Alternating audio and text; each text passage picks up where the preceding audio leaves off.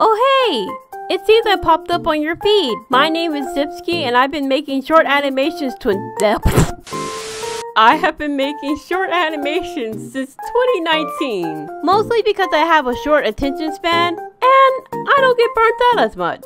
So if you're interested in short animated content, be sure to hit that plus button and happy scrolling.